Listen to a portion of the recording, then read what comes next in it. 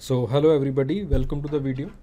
So in the previous videos और in the previous lectures हमने जो है वो आपके पास दो टॉपिक्स जो है वो कर लिए थे पहला था there were certain basic concepts जो कुछ आपके पास जो है वो बेसिक कंसेप्ट्स थे in the physical anthropology in the biological anthropology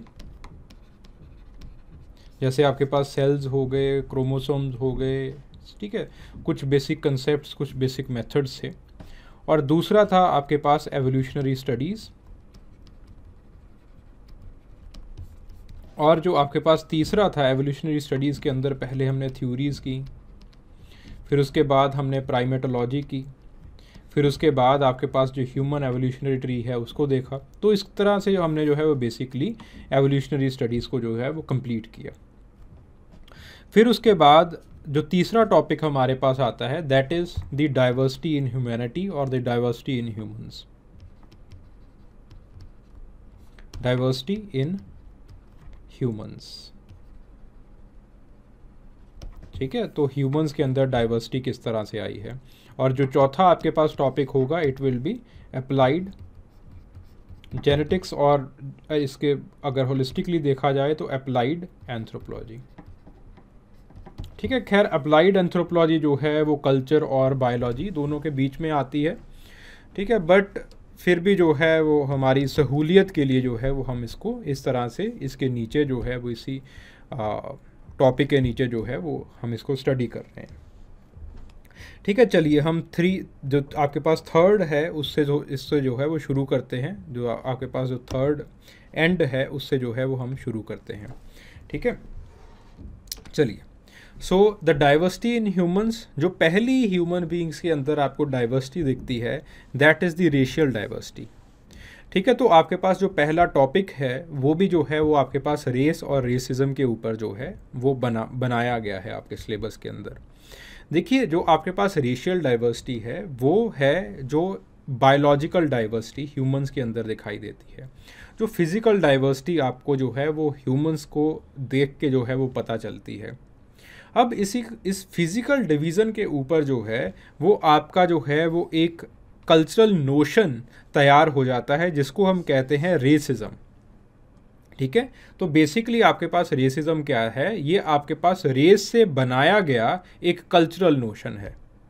ठीक है? So this is a cultural notion that has been made through the through the effect of racial diversity तो आपके पास जो है, वो रेसिज्म जो है, वो आपके पास जो है, वो एक नोशन जो है, वो बन जाता है। रेसिज्म का नोशन क्या कहता है? कि जो आपके पास कुछ रेशियल ग्रुप्स हैं, वो सुपीरियर हैं और कुछ जो रेशियल ग्रुप्स हैं, वो जो है, वो आपके पास इन्फीरियर हैं। ठीक है? फिर हम जो है, वो आगे स्टडी करते हैं biological basis of the morphological variations of the non metric and the metric characteristics ठीक है कि किन बेसिस के ऊपर जो है, वो आप जो है, वो रेस रेस को जो है, वो कैटेगराइज करते हो। तो आपके पास एक साइंटिस्ट हुए थे, या फिर आपके पास जो है, वो एक एंथ्रोपोलॉजिस्ट हैं बॉयड तो वो जो है, वो कुछ बायोलॉजिकल बेसिस की जो है, वो बात करते हैं, कुछ रेशियल क्राइटेरियाज जो है। फिर इन्हीं बायोलॉजिकल बेसिस के ऊपर अलग अलग लोगों ने जो है, वो रेशियल क्राइटेरियाज रेशियल ट्रेड्स बनाए हैं। तो बॉयड जो है, वो आपको एक बेसिक प्रिंसिपल देते हैं कि कैसे जो चीज़ों के ऊपर जो है, वो आपके क्राइटेरिया जो है, वो बनाए जाने चाहिए। तो आपके पास जो है एशले मुंटेग आ गए, आपके पास जो है इवन चार्ल्स लियल जो है, वो उन्होंने भी जो है, वो रेशियल क्राइटेरिया जो है, वो बनाने की कोशिश की। ठीक है तो आपके पास अलग अलग साइंटिस्ट आ जाते हैं हुटॉन भी आ जाते हैं इसी के अंदर जिन्होंने अपने अपने रेशियल क्राइटेरिया जो है वो दिए हैं। लेकिन जो आपके पास एशले मुंटेक की क्लासिफिकेशन है वो जो है it is followed world wide उसको बहुत जो है वो आ, जो है वो एक रिकोगनीशन जो है वो मिली है। क्योंकि उन्होंने जो आपके रेशियल क्राइटेरियाज हैं उनको तीन पार्ट्स के अंदर जो है वो ब्रॉडली तीन मेजर रेसेस के अंदर जो है वो डिवाइड किया है। एक कॉकासाइड रेस एक आपके पास निग्रोइड रेस और एक जो है वो मंगलोइड रेस और बाकी जो रेसेस हैं, उनको वो कहती हैं कि इससे ही जो है वो सब रेसेस बनती हैं और आपके पास जो है वो एक रेशियल क्रॉसिंग जो है वो इंसान के अंदर होती है। देयर आपके पास जो लास्ट टॉपिक है, इसका racial differentiation and racial crossing ये जो है, वो आपके पास बन जाता है। ठीक है? तो आपके पास जो है, ये रेस के ट्रेड्स कैसे बनते हैं? ठीक है नाउ आपके पास अगला टॉपिक जो है, वो कहता है हाउ कि आपके पास जो रेशियल क्राइटेरियाज है, ये जो आपके पास रेशियल ट्रेड्स हैं, वो कैसे बन रहे हैं? तो दो मेजर फैक्टर्स हैं रेशियल ट्रेड्स जो है, वो बना, जो कि रेशियल ट्रेड्स जो है, वो बनाते हैं। एक है आपके पास जेनेटिक डाइवर्सिटी आपकी हेरिडिटी दूसरा है आपका इन्वायरमेंट तो ये जो है वो दो मेजर चीज़ें होती हैं, ये दो मेजर फैक्टर्स होते हैं जो कि आपके जो रेशियल ट्रेड्स हैं वो बनाते हैं। ठीक है? तो आपके पास देन रेशियल क्राइटेरिया हो गया। रेशियल क्राइटेरिया से आप जो है वो आपके पास biological basis of the racial classification again जो बॉयड के कंसेप्ट हैं, उनको आप इसके अंदर जो है वो रेप्लीकेट करते हो और उसको जो है वो ज़्यादा एप्लीकेशन के प्रोसेस से जो है वो आप स्टडी करते हो। ठीक है? इन्हीं मैट्रिक और नॉन मैट्रिक करेक्टरिस्टिक्स को। ठीक है तो आपके पास जो बायोलॉजिकल बेसिस है रेशियल क्लासिफिकेशन के, वो जो है, वो आपके पास जो है, वो बन जाते हैं। देन उसके बाद आपके पास racial differentiation and racial crossing तो होता क्या है कि गाल्टन के एक शागिर्द थे, जिनको हम जो है, वो डेविन पोर्ट कहते हैं। डेविन पोर्ट जो है जिम्बावे के अंदर रेशियल क्रॉसिंग के ऊपर जो है, वो स्टडीज़ करते हैं। ठीक है मलट्टो स्टडीज़ हम उसको जो है, वो नाम दिया है मलट्टो स्टडीज़ तो मलट्टो स्टडीज़ कंडक्ट करते हैं और वो समझाते हैं कि किस तरह से अलग अलग जो आपके पास रेशियल ग्रुप्स हैं अलग अलग जो रेसेस हैं, जब वो एक दूसरे के साथ मीटिंग करती है तो एक आपके पास जीन पूल नया जो है वो डेवलप होता है और नई रेस जो है वो आपके पास जो है वो मिल जाती है आपको। नए जो रेशियल क्राइटेरियाज हैं, वो आपको जो है वो मिलते हैं। So this is the concept of the racial crossing ये रेशियल क्रॉसिंग का कंसेप्ट है। और डेविनपोर्ट कहते हैं कि रेशियल क्रॉसिंग से आपकी जो कंपोजिट रेसेस हैं, कंपोजिट रेसेस हैं, वो जो है, वो बनती हैं। ठीक है, हुटन अपनी क्लासिफिकेशन के अंदर कंपोजिट रेसेस को जो है, वो आप अगेन हुटन जो है, वो कंपोजिट रेसेस को तीन पार्ट्स के अंदर डिवाइड करते हैं। ठीक है तो ये सारी चीज़ें जो है, वो हम डाइवर्सिटी इन ह्यूमंस के अंदर जो है, वो स्टडी करते हैं। ओके? okay? देन उसके बाद you have the topic of genetic markers genetic markers का टॉपिक आता है. जेनेटिक मार्कर्स के अंदर आपके पास जो है अगेन स्पेसिफिक किया हुआ है कि कौन से चीज़ों को, आपको जो, कौन से फिनोटाइप्स को जो है, वो आपको एज अ जेनेटिक मार्कर जो है, वो स्टडी करना है. अब बात आती है मार जेनेटिक मार्कर क्या है? मार्कर क्या होता है? मार्किंग क्या होती है? जब आपने किसी की आइडेंटिफिकेशन करनी हो तो आप उसको मार्क कर देते हो। तो वो अपना मार्क जहाँ पे भी जाएगा, वो अपना जो है वो लेके चला जाएगा। जैसे फॉर एग्जांपल आपने माइग्रेशन देखना है, कबूतरों का माइग्रेशन देखना है। तो आप क्या करोगे कि एक कबूतर को पकड़ोगे, उसके ऊपर जो है वो मार्किंग दे दोगे उसको। फिर आपको जो, आप जो है उसको खुला छोड़ दोगे। फिर जो है वो जहाँ पे भी जाएगा, वो अपनी मार्किंग साथ में ले जाएगा। इसी तरह से आपकी जीन्स भी जो है वो कुछ मार्क्स कैरी कैरी करती हैं। कुछ स्पेशल टाइप ऑफ़ जीन्स जो है वो आपके अंदर रेप्लिकेट होती हैं। तो उसको हम कहते हैं जेनेटिक मार्कर उस चीज़ को जेनेटिक मार्कर कहा जाता है। जो कि एक चीज़, एक मार्कर वो चीज़ होती है जो कि आपके पास एक विशेष संकेत जो है वो आपको दे रही हो। तो A B O blood group को एज अ जेनेटिक मार्कर जो है वो आपको स्टडी करना है। आर एच ब्लड ग्रुप को जो है वो as a genetic marker study करना है। एच एल ए को एच पी ट्रांसफेरेंस को जी एम को आपके पास जो है वो और बाकी ब्लड एंजाइम्स जैसे आपके पास जो है वो G six P D enzyme हो गया, ये सारे जो है वो आपके पास इनको जो है वो आपको जेनेटिक मार्कर की तरह से जो है वो स्टडी करना है। देन जेनेटिक मार्कर इन, सिर्फ़ इन चीज़ों को ही as a genetic marker diversity के परस्पेक्टिव से आपको स्टडी नहीं करना है। आपके पास होमोग्लोबिन लेवल ठीक है? होमोग्लोबिन लेवल एनीमिया का इंसिडेंस इसको भी जो है वो अलग अलग पॉपुलेशन के अंदर किस तरह से वेरी कर रहा है। बॉडी फैट किस तरह से वेरी कर रहा है। अगेन जो आपके पास फिजियोलॉजिकल करेक्टरिस्टिक्स हैं, इसके अंदर जो है वो इन्वायरमेंट का से बहुत बहुत बहुत ज़्यादा होता है। इसके अंदर जो आपके पास ये जेनेटिक करेक्टरिस्टिक्स हैं, इनके अंदर जो इन्वायरमेंट का से है, वो बहुत बहुत बहुत कम होगा। जैसे A B O blood group है। A B O blood group अब बहुत सारी स्टडीज़ हैं। बटनर जानुश भी कहते हैं कि A B O blood group जो है, वो नेचुरल सिलेक्शन के साथ जो है, वो बनता है। लेकिन फिर भी A B O blood group it is very efficient genetic genetical marker ये जो है वो आपके पास एक जेनेटिक ट्रेट की तरह जो माना जाता है, जिसमें इन्वायरमेंट का कम से है, बहुत कम से है। आर एच ब्लड ग्रुप ठीक है पॉजिटिव हो नेगेटिव है, इसके अंदर भी आपके पास जो है वो इन्वायरमेंट का जो है वो बहुत कम से रहता है। ठीक है देन आपके पास H L A H P again environment का बहुत कम से रहेगा। लेकिन आपके पास जो फिजियोलॉजिकल करेक्टरिस्टिक्स हैं, इसके अंदर इन्वायरमेंट का जो एक एक्सप्रेशन है, जो एक से है, वो ज़्यादा रहेगा। ठीक है? तो फिजियोलॉजिकल करेक्टरिस्टिक्स को किन को स्टडी किया जाता है? होमोग्लोबिन लेवल को बॉडी फैट को पल्स रेट को रेस्पिरेटरी फ़ंक्शंस को सेंसरी परसेप्शंस को, इन सारी चीज़ों को जो है these are the physiological characteristics इनको जो है वो स्टडी किया जाता है। कैसे स्टडी किया जाता है in different cultural and the socio economic groups for example in the villages the incidence of obesity ये जो है वो कम रहेगा, जो आपके पास अर्बन सोसाइटीज़ हैं, उनके अंदर इंसिडेंस ऑफ़ ओबिसिटी जो है, वो आपके पास जो है वो ज़्यादा रहेगा। जो आपके पास जो हिल ट्राइब्स हैं, जैसे आपके पास राज़ी ट्राइब हो गई, कपूर एंड कपूर की 2006 के अंदर जो है वो स्टडी थी, जिसके अंदर वो बताते हैं कि कैसे इनके रेस्पिरेटरी फ़ंक्शंस जो है they are high quality respiratory functions ठीक है? Then you have sensory perception sensory perception के अंदर भी जो पेन का परसेप्शन है, वो कल्चर टू कल्चर वेरी करता है. ठीक है? तो एक इसकी थ्योरी भी हम हम लोग पढ़ते हैं कॉग्नेटिव एंथ्रोपोलॉजी के अंदर फिनोमिनोलॉजी के अंदर। ठीक है? तो सेंसरी परसेप्शंस अगेन आपके पास जो है वो कॉन्कलिन और आपके पास टाइलर जो है, वो इसके अंदर जो है वो काम करते हैं सेंसरी परसेप्शन के अंदर काम करते हैं। Similarly you have pulse rate ठीक है? पल्स रेट जो है, ये भी आपके पास अलग अलग जो सोशो इकोनॉमिक ग्रुप्स हैं या फिर आपके पास कल्चरल ग्रुप्स होते हैं, इनकी अलग अलग होती है। ठीक है? So these are the physiological characteristics क्योंकि इन्वायरमेंट का ज़्यादा प्रभाव पड़ता है तो आप जो है वो इनको कल्चरल और सोशो इकोनॉमिक ग्रुप्स के माध्यम से जो है वो स्टडी करेंगे मीडियम से जो है वो स्टडी करोगे। लेकिन जो जेनेटिक मार्कर्स हैं, उनको आप एज सेक्स और पॉपुलेशन वेरिएशन पॉपुलेशन वेरिएशन यानी कि रेस के परस्पेक्टिव से जो है वो ज़्यादा स्टडी करोगे।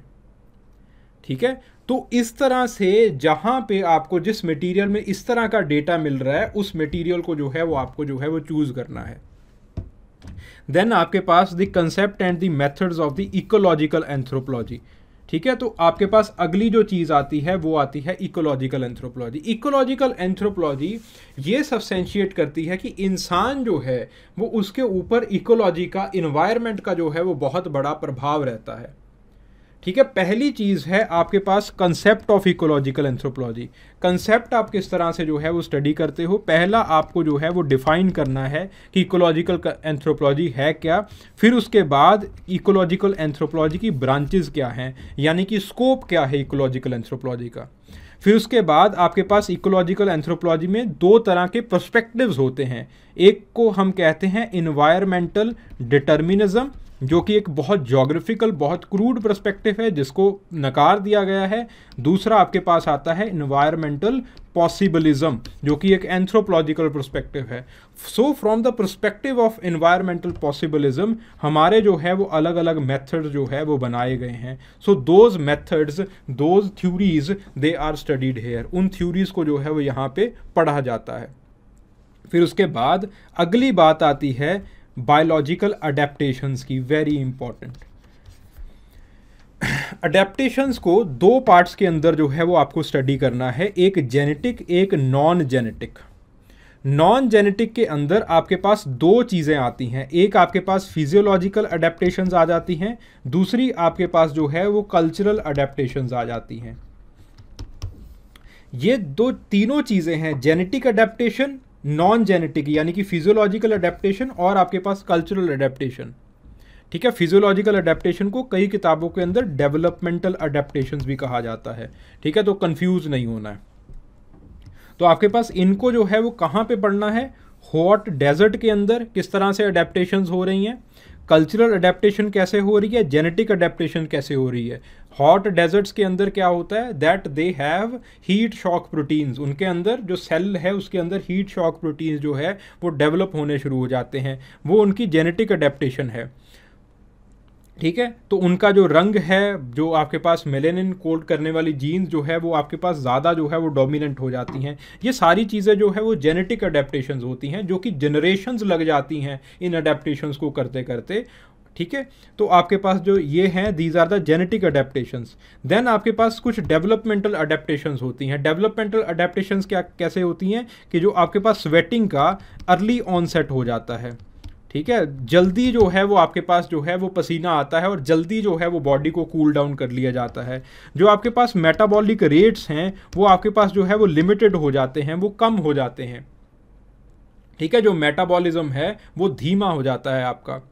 फिर उसके बाद कल्चरल अडेप्टशंस हैं। उनके घर जो है वो कम्पैक्ट जोमेट्री के बनते हैं। या फिर कई बार कई ट्राइब्स जो है वो अंडरग्राउंड घर भी जो है वो बनाती हैं। स्तः से जो है वो नीचे वाली आ, आपके पास जो है वो उसके अंदर घर बनाया जाता है ताकि ठंडे रहें। और आपके पास जो क्लोथिंग है special kind of white clothes जो आपके पास लिनन के कपड़े हैं वो जो है वो कई बार जो है वो डाले जाते हैं। सो इस तरह से these are the adaptation of the hot climate similarly cold climate high altitude के अंदर भी आपको ऐसी ही अडेप्टेशन को जो है वो स्टडी करना है। ठीक है? सो so, इस तरह से जो है वो आपको जो है वो चीज़ों को जो है वो आपको पढ़ना होगा इकोलॉजिकल एंथ्रोपोलॉजी के अंदर। देन उसके बाद बात आती है एपिडमोलॉजिकल एंथ्रोपोलॉजी एपिडमोलॉजिकल एंथ्रोपोलॉजी के अंदर epidemiology what is epidemiology it is the study of the diseases अब अगर आपने इंसान को होलिस्टिकली पढ़ा, तब जाके आपको इंसान के बारे में पता चला तो इंसान की जो बीमारियाँ हैं, उसको भी होलिस्टिकली पढ़ना होगा। तो इंसान की बीमारियों को होलिस्टिकली पढ़ने के लिए आपके पास जो है वो एपिडमोलॉजिकल एंथ्रोपोलॉजी बनती है। इसके अंदर जो पहला आपके पास जो टॉपिक है this is the concept of the health and disease health and disease का कंसेप्ट क्या है? ठीक है? तो आप हेल्थ एंड डिसीज़ की सबसे पहले आप जो है वो थ्योरीज़ करते हो कि हेल्थ और डिसीज़ को जो है वो किस तरह से पढ़ा जाना चाहिए। किस तरह से जो है वो आप हेल्थ और डिसीज़ को जो है वो पढ़ सकते हो? How can you study it किस तरह से जो है वो आप इसको जो है वो पढ़ सकते हो? तो आपके पास अलग अलग जो है वो थ्योरीज आती हैं। जैसे आपके पास जो है वो फंक्शनल थ्योरी है कि आपकी जो डिसीज़ है, उसका एक फ़ंक्शन होता है सोसाइटी के अंदर।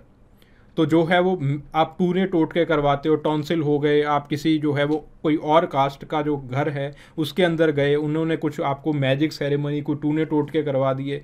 सो इसका एक फ़ंक्शन है सोसाइटी में सॉलिडेरिटी बन गई inter caste solidarity inter caste relationship बन गया। सिमिलरली आपके पास जो है वो आपके पास इन्वायरमेंटल uh, थ्योरी है ऐसी बहुत सारी रेडिकल अप्रोच है ऐसी बहुत सारी जो है वो इसके अंदर थ्यूरीज आती हैं, जो कि हेल्थ और डिसीज़ की जो प्रॉब्लम्स हैं, उनको स्टडी करने में जो है वो आपके काम आती हैं। Then you have infectious and non infectious diseases कमाल की बात यह है कि इस टॉपिक में क्या इन्फेक्शियस डिसीजेज कौन से हैं नॉन इन्फेक्शियस डिसीजेज कौन से हैं ये आपको नहीं पढ़ना है। Rather you have to see that how you have to investigate कैसे आप इन्वेस्टिगेशन कर सकते हो इन्फेक्शियस और नॉन इन्फेक्शियस डिसीजेस का। इसका इन्वेस्टिगेशन कैसे हो सकता है? आप इसको जो है, वो किस तरह से ये देख सकते हो कि कौन से डिसीजेज इन्फेक्शियस हैं और आपके पास कौन से डिसीज़ जो है, वो नॉन इन्फेक्शियस हैं और उसका ओरिजिन सबसे इंपॉर्टेंट चीज़, उसका ओरिजिन जो है वो आप कैसे खोज सकते हो, उसके ओरिजिन को आप कैसे देख सकते हो, कि इसका ओरिजिन कैसे हुआ है। तो इसके अंदर दो आपके पास जो है वो, एक तो है क्लासिकल स्टडी एक जो है वो आपके पास रीसेंट स्टडी है हाइपाटाइटिस ए के ऊपर। वो आप देखते हो और क्लासिकल स्टडी जो है वो कॉलरा के ऊपर है। जॉन स्नो की स्टडी एक एपिडमोलॉजिस्ट थे John Snow England English epidemiologist थे। तो वो जो है वो उनकी स्टडी जो है वो आपके पास एक लाइम लाइट के अंदर आती है कि किस तरह से जो है वो पहले डेटा कलेक्ट करते हैं कि आपके पास जो है सीवरेज पाइपलाइन जो है वो किस तरह से जो है वो लंदन के अंदर जो है वो आपके पास आ, बिछी हुई हैं, फिर जो है वो जाके वो ये देखते हैं कि आपके पास जो कॉलरा का इंसिडेंस है, वो भी कैसे इन पाइपलाइंस के आसपास जो है वो रह रहा है, जो ये प्रॉब्लम ऑफ़ डिसीज़ है, वो भी किस तरह से इस पाइपलाइन के अराउंड जो है वो आपको दिखाई दे रही है। ठीक है? तो आपके पास जो है दीज आर दी इस तरह से जो है वो इनको जो है वो देखा जाता है, आपको जो है वो डिटेक्ट करते हैं कि सोर्स क्या है। इन इन्फेक्शियस डिसीजेज का सोर्स क्या है? Similarly non infectious diseases non infectious diseases को जो है वो स्टडी किया जाता है कि नॉन इन्फेक्शियस डिसीजेस को जो है वो किस तरह से आप इसका सोर्स जो है वो किस तरह से ढूंढोगे? इसके अंदर एपिडमोलॉजी के अंदर जो है वो रिलेशनशिप देखा जाता है। That what is the relationship between the physician between the doctor and the patient दोनों के बीच में जो है वो रिलेशनशिप क्या है और किस तरह से जो है वो आप एक हेल्थ पॉलिसी जो है वो बना सकते हो। ठीक है तो आपके पास नॉन इन्फेक्शन डिसीज़ के अंदर ये सारी चीज़ें जो है वो देखी जाती हैं, क्योंकि आप तभी लोगों को शादी करने से मना कर सकते हो अगर एज अ डॉक्टर लोग आपके ऊपर विश्वास कर रहे हो। ठीक है तो आपके पास जो है वो अगेन उस तरह की पॉलिसी आप किस तरह से बना सकते हो, वो यहाँ पे जो है वो स्टडी किया जाता है। उस चीज़ को जो है वो देखा जाता है। अगेन आपके पास कोई ऐसा नहीं है कि बायोलॉजी हम पढ़ रहे हैं। बायोलॉजी ऐसे लगता है कि बायोलॉजी का छोटा सा पार्ट पढ़ के हम वापस से जो है वो कल्चर में आ चुके हैं। देन आपके पास nutritional deficiency related diseases nutritional deficiency related diseases का इंडिया के अंदर वर्ल्ड के अंदर क्या इंसिडेंस है और इसका क्या इफ़ेक्ट पड़ रहा है ह्यूमन पॉपुलेशन के ऊपर और इसके कॉजेज़ क्या हैं? ये जो तीन चीज़ें हैं, ये इसके अंदर जो है वो स्टडी की जाती हैं न्यूट्रिशनल डेफिशिएंसी रिलेटेड डिसीजेज के अंदर। ठीक है? फिर उसके बाद the concept of the human growth and development human growth and development का कंसेप्ट क्या है? इसके अंदर सबसे पहले आपके पास स्टेजेस ऑफ़ ग्रोथ जो है वो देखी जाती है।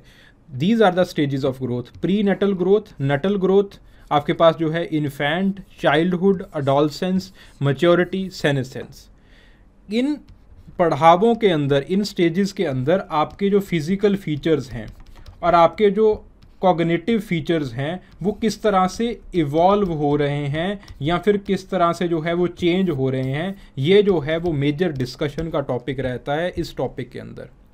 देन उसके बाद इन चेंजेस के अंदर फैक्टर्स क्या हैं? कईयों के अंदर बहुत तेज़ उनकी हाइट बढ़ जाती है, कईयों की, बेचारों की हाइट बहुत कम रहती है। तो उसके फैक्टर्स क्या हैं?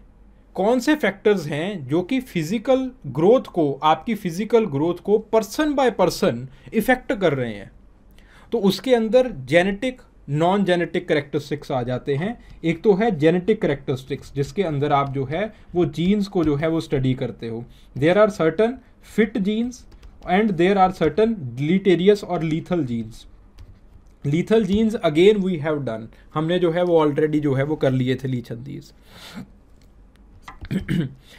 जेनेटिक फिटनेस को जो है वो आप देखते हो। अगेन ये जो आपके पास जेनेटिक फिटनेस है that we have seen in the previous chapter environmental anthropology और इकोलॉजिकल एंथ्रोपोलॉजी के अंदर देख देख चुके हैं हम।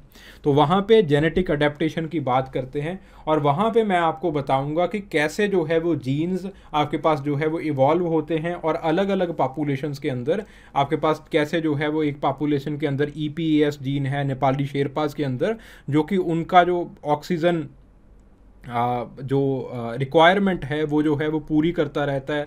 उनकी जो एफिशिएंसी है, वो बढ़िया बना देता है। कैसे आपके पास जो है there is P D P gene also in the in the Indian island Indian highlanders वहाँ की पॉपुलेशन के अंदर एक स्पेशल तरह का जीन जो है, वो आपको मिलता है। देन आपके पास जो है, वो शॉक प्रोटीन्स के जीन्स के बारे में हमने जो है, वो ऑलरेडी देख लिया है।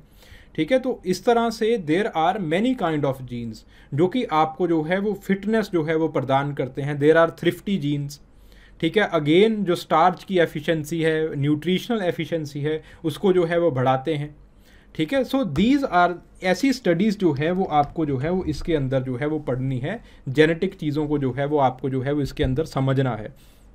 देन उसके बाद इन्वायरमेंटल फैक्टर्स क्या हैं? ठीक है? इन्वायरमेंटल फैक्टर्स के अंदर आपके पास वही जो है वो इन्वायरमेंटल स्ट्रेसेस को जो हमने ऑलरेडी किया है, वही जो है वो चीज़ें इसके अंदर जो है वो रेप्लीकेट होंगी। ठीक है? Then what are the biochemical methods sorry what are the biochemical factors biochemical factors के अंदर आप जो है वो हारमोन्स को जो है वो स्टडी करते हो। ठीक है? अलग अलग हारमोन्स को जो है वो स्टडी करते हो। ठीक है फॉर एग्जांपल नेटल ग्रोथ के अंदर अलग तरह के जो हार्मोन्स हैं, वो आपके पास लगते हैं, जो कि आपको, आपकी जो हाइट है वेट है, उसको जो है वो इंक्रीज़ करते हैं। आपके पास अडोलसेंस आ जाता है ल्यूटिनाइजिंग हार्मोन आपके पास टेस्टोस्टेरॉन आपके पास ईस्ट्रोजन वो आना शुरू हो जाता है। So they are the biochemical methods और बायोकेमिकल सॉरी बायोकेमिकल मेथड्स नहीं बायोकेमिकल फैक्टर्स और बायोकेमिकल फैक्टर्स भी आपके पास जो आपकी जेनेटिक्स है और आपकी जो इन्वायरमेंट है, इसके ऊपर जो है वो डिपेंड करेंगे. Then there are certain nutritional factors which are dependent upon your cultural and the socio economic status उसके ऊपर जो है वो आपके न्यूट्रिशनल फैक्टर्स जो है वो आप डिपेंड करते हैं. ठीक है? न्यूट्रिशनल फैक्टर के अंदर आप डाइट वगैरह अलग अलग ग्रुप्स के अंदर वो स्टडी करते हो. फिर उसके बाद there are certain cultural factors और आपके पास कुछ सोशो इकोनॉमिक फैक्टर्स हैं। इनको आप स्टडी करते हो कि आप कौन सी क्लास में हो, आप कौन सी कास्ट के हो, आप कहाँ पे रहते हो जोग्राफिकली आप कहाँ पे रहते हो, आपके पास कैपिटल कितना है, पैसे कितने हैं, आपके जो है वो पेरेंट्स की आइडियोलॉजी क्या है ड्रग अब्यूज़ का कितना इंसिडेंस है। तो अलग अलग स्टडीज़ जो है वो इसके अंदर जो है वो की जाती हैं। So these are the factors that are affecting the human growth and development ठीक है? फिर उसके बाद आपके पास अगला टॉपिक आता है एज एजिंग एंड सेनिसेंस बुढ़ापा। तो बुढ़ापे की थ्यूरीज क्या हैं कि आप बूढ़े क्यों होते हो? और उसके बाद जो, जब आप बूढ़े हो जाते हो तो उसके अंदर क्या जो है, वो आपके पास जो है, वो चेंजेस क्या आती हैं आपके शरीर के अंदर? आपकी प्रॉब्लम्स क्या होती हैं? इसके अंदर भी जो है वो मेजरली सोशो इकोनॉमिक थ्योरीज और आपके पास जो चेंजेस हैं ऑब्जर्वेशंस हैं, उनको जो है वो आप जो है वो एक प्रोमिनेंस देते हो। देन आपके पास क्रोनोलॉजिकल लॉन्जिविटी क्रोनोलॉजिकल लॉन्जिविटी के क्या कारण हैं? क्यों कुछ सोसाइटीज़ के अंदर आपके पास जो है वो बूढ़े, ज़्यादा टाइम तक ज़िंदा रहते हैं, कुछ सोसाइटीज़ के अंदर उनकी डेथ जल्दी हो जाती है। ठीक है? सो so, आपके पास ऐसी जो चीज़ें हैं वो यहाँ पे again there are cultural factors उन कल्चरल और सोशो कल्चरल फैक्टर्स को जो है वो आप आगे रखोगे। देन उसके बाद आपके शरीर को स्टडी करने के आपकी जो बॉडी टाइप्स हैं उनको स्टडी करने के तरीके क्या है उसको जो है वो हम सोमेटो टाइप्स कहते हैं। आपके पास जो है वो मेजरली तीन तरह के जो है वो सोमेटो टाइप्स जो है वो क्लासीफाई किए गए हैं। तो उन्हों उन तीनों तर, तरह के जो स्मेटो टाइप्स हैं उनको जो है वो स्टडी किया जाता है। बॉडी टाइप्स को जो है वो स्टडी किया जाता है। Then you have the methodology of the studies चार तरह की जो है वो आपके पास मेथडोलॉजीज़ हैं। जैसे आपके पास लॉन्गिट्यूडनल मेथड हो गया आपके पास मिक्सड मेथड हो गया एक्सेट्रा एक्सेट्रा इस तरह से आपके पास जो है वो काफ़ी सारे मेथड्स हैं। मेजरली जो है वो आपके पास चार मेथड्स हैं जो कि इस ग्रोथ को जो है वो स्टडी करते हैं, इस ग्रोथ को जो है वो मेज़र करते हैं। Again this growth it is measured by the two kinds of graphs दो तरह से जो है वो इसको जो है रिकॉर्ड किया जाता है। One is known as the distance graph other is known as the velocity graph ठीक है तो इस तरह से जो है वो आपको चीज़ों को जो है वो यहाँ पे पढ़ना है। अगेन हर एक साल एक ना एक क्वेश्चन जो है वो यहाँ से, इस स्लाइड से जो है वो पूछा जाता है। ठीक है? जब आपको मटेरियल गैदर करना है या फिर आप लेट से किसी कोचिंग सेंटर से भी पढ़ रहे हो तो वहाँ पे भी जो है वो आप अपने टीचर को प्रॉपरली बताइए कि वी नीड दिस हमें जो है वो इस चीज़ों के आप मटेरियल दीजिए, इन चीज़ों की हमें प्रॉपर स्टडीज़ दीजिए केस स्टडीज़ दीजिए। इन्वायरमेंटल फैक्टर्स हैं। प्रॉपर केस स्टडीज़ चाहिए आपको। कुछ भी नहीं लिखना है उसके अंदर। हॉट आ गया तो जी, बीमार हो जाओगे, फलां हो जाएगा, दमकान, ऐसा नहीं लिखते हैं। इसका कोई नंबर नहीं होता है। Similarly nutritional studies proper studies लिखनी है आपको। कहाँ पे स्ट्रेस आ रहा है? किसने स्टडी किया? इंडिया के अंदर बसीन की स्टडी है कपूर की स्टडी है मुलाटी की स्टडी है। ठीक है? आपके पास सिंह की स्टडीज़ हैं काफ़ी सारी। उनके, उनकी स्टडीज़ को लिखना है। इवन जो है वो आपके पास फर्नेंडिस की स्टडी है बोस की स्टडीज़ हैं रॉय की स्टडी है एलपी विद्यार्थी की भी न्यूट्रिशन के ऊपर स्टडीज़ हैं ए के सिंह की स्टडीज़ हैं। सो so, इन सारी चीज़ों को लिखना है आपने। कल्चरल फैक्टर्स के ऊपर जो है वो इंडिया के अंदर स्टडीज़ हुई है। हेमन ड्रॉफ की भी इसके अंदर एक स्टडी है छोटी सी। ठीक है? तो उन सारी चीज़ों को आपको जो है वो प्रॉपरली पढ़ना है आपने। स्टडीज़ प्रॉपरली देखो। तब जाके जो है वो एक कंक्रीट आंसर जो है वो आपको बनता है। कि जिसके अंदर मज़ा आता है। एग्जामिनर को भी जो है वो पढ़ने में मज़ा आता है। आपको लिखने में भी मज़ा आएगा कि हाँ कुछ लिखा है आज। ठीक है? अगर कहानियाँ लिखोगे तो मज़ा नहीं आता उसको, उसके अंदर। ना ही पढ़ने में, ना ही लिखने में। देन उसके बाद सोशो कल्चरल रेलिवेंस क्या है? मेनार्च का मेनोपॉज का पर्टिकुलरली इन दो इवेंट्स को ही जो है वो देखा जाता है। शादी, ब्याह, वो तो बाकी बायो इवेंट्स ऑफ़ फर्टिलिटी वगैरह, शादी, ब्याह एक्सेट्रा एक्सेट्रा वो जो है वो आपके पास जो है वो हम पहले कर कर लेते हैं कल्चरल एंथ्रोपोलॉजी के अंदर। तो आपके पास मेनार्च और मेनोपॉज का जो है वो रेलिवेंस क्या है? सोशो कल्चरल रेलिवेंस क्या है? फॉर एग्ज़ाम्पल जहाँ पे जंग लगी होगी, जहाँ पे वॉर का इंसिडेंस होगा, वहाँ पे आपका मेनार्च जो है वो लेट होगा मेनोपॉज जल्दी हो जाएगा। यानी कि जो फीमेल्स की रिप्रोडक्टिव एज है वो कम हो जाएगी। जहाँ पे अगर इंडिया में this this study it was done ये जो है वो आई थिंक रॉय ने जो है वो स्टडी की थी। Roy had done this study तो आपके पास जो है वो रॉय की स्टडी है। वो कहते हैं कि आपके पास जो है जहाँ पे अगर इंडिया के अंदर जो है वो आ, अगर आपका सोशो इकोनॉमिक स्टेटस जो है वो इंक्रीज़ हुआ है तो मेनार्च जो है वो जल्दी हो जाएगा और मेनोपॉज भी जो है वो आपके पास जल्दी हो जाएगा। So these are the studies ऐसे करके आपके पास जो है स्टडीज़ आपको जो है वो पढ़नी है जो कि रेलिवेंस शो करेंगी मेनार्च का मेनोपॉज का। Then you have the fertility patterns and differentials आपके पास जो है डिफ, कुछ डिफरेंशियल्स जो है वो मिलते हैं। जैसे फॉर एग्जांपल आपके पास जो है वो जो फर्टिलिटी डिफरेंशियल्स जो आपके पास जो अर्बन एरियाज़ के अंदर जो औरतें होती है जो सेडेंट्री लाइफस्टाइल जो है वो फॉलो कर रही होती हैं तो उनके अंदर जो है वो आपके पास जो है वो फर्टिलिटी जो है वो उनकी जो फर्टाइल एज है वो ज़्यादा रहती है। जो आपके पास लोअर स्टेटा की जो औरतें हैं सॉरी उनकी जो अर्बन एरियाज़ के अंदर है, उनकी फर्टिलिटी जो है वो कम रहती है due to certain socio economic factors जो आपके पास रूरल एरियाज़ के अंदर जो औरतें होती हैं, उनकी जो फर्टिलिटी है जनरली देखा जाता है कि वो जो है वो आपके पास ज़्यादा होती है। क्यों? क्योंकि आपके पास रूरल एरियाज़ के अंदर जो लेबर है, उसकी ज़रूरत होती है तो जो आपके पास बच्चे हैं, वो ज़्यादा पैदा किए जाते हैं। अर्बन एरियाज़ के अंदर जो है वो आपके पास लेबर की ज़रूरत नहीं है, लेकिन बच्चे में खर्चा बहुत ज़्यादा हो जाता है। तो बच्चे जो है, वो फैमिली प्लानिंग से by the use of contraceptive etcetera वो जो है, वो कम पैदा किए जाते हैं। सो फर्टिलिटी पैटर्न्स और उसके फैक्टर्स क्या हैं? They have been studied by Bongaarts ये जो है, वो एक एंथ्रोपोलॉजिस्ट हैं बोगार्ड्स उन्होंने स्टडी किया है और उनके जो अप्रोच हो अप्रोच है, उसको हम कहते हैं the approach of proximate determinants तो उससे जो है वो फर्टिलिटी पैटर्न्स दुनिया के अंदर जो है वो स्टडी किए जाते हैं। Then you have the demographic theories demogra demographic theories को तीन भागों के अंदर जो है वो डिवाइड किया गया है। जैसे आपके पास बायोलॉजिकल फैक्टर्स जैसे आपके पास सोशल फैक्टर्स और कल्चरल फैक्टर्स तो इस तरह से जो है वो डेमोग्राफिक थ्योरीज को तीन पार्ट्स के अंदर जो है वो डिवाइड किया गया है। बायोलॉजिकल डेमोग्राफिक थ्योरीज के अंदर जैसे आपके पास जो है वो डाइट थ्योरी आ गई, ऐसे काफ़ी सारी जो है थ्योरीज आ जाती हैं, जो कि डेमोग्राफिकल फैक्टर्स को जो है वो स्टडी करती हैं, ठीक है? टीलोलॉजिकल थ्योरी ऐसी काफ़ी सारी जो है वो आपके पास बायोलॉजिकल थ्योरीज हैं। Then you have the sociological theories जैसे आपके पास जो है वो कैपिलरी एक्शन थ्योरी आ गई, ठीक है? जैसे आपके पास जो है वो डायलैक्ट्रिक थ्योरी आ गई कार्ल मार्क्स की। वो जो है वो इसके अंदर आती हैं then there are certain cultural theories फिर आपके पास जो है वो कल्चरल थ्योरीज आ जाती हैं, जैसे आपके पास जो है supernatural theory supernatural theory जैसे कुछ कल्चर्स के अंदर जो है ये बिलीव सिस्टम होता है कि भगवान तो जो है वो सॉरी जो बच्चे जो हैं, वो तो जी भगवान की देन है। तो हमें जो है वो भगवान की देन को वापस नहीं मोड़ना है। ठीक है? तो बच्चे जो है वो आने दीजिए। तो आपके पास जो है वो biological and the socio cultural factors जो कि आपके पास जो है फिकेंडिटी को फर्टिलिटी को फर्टिलिटी होता है कितने बच्चे पैदा हो रहे हैं। फिकेंडिटी का मतलब होता है कि कितने बच्चे पैदा करने का पोटेंशियल है।